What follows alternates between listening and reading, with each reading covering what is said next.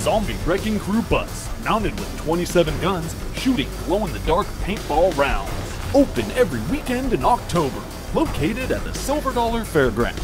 The paintball thrill ride is great for all ages. Plus, Try our on-foot zombie hunt with laser guns and tons of fun activities in the kids zone.